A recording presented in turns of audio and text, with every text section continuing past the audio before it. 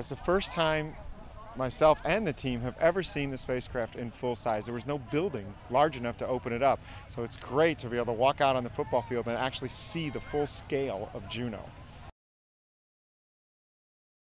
I think it's a bit of a loosening up, you know, you're kind of relaxing a little bit. We're almost there. Today we passed the orbit of Callisto. We're on, our way in.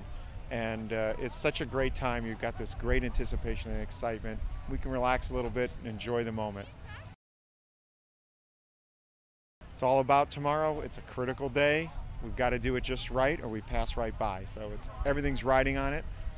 But at the same time, I'm confident the team's great, best engineers in the world, and we are going to pull it off and get into orbit at Jupiter and start an incredible journey.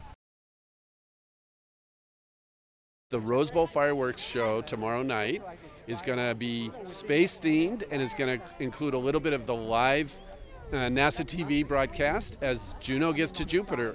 Juno's arriving at Jupiter tomorrow night. We're going to get the, the signal that all is well, we hope, at about 8.55 California time, right before they start the fireworks here at the Rose Bowl.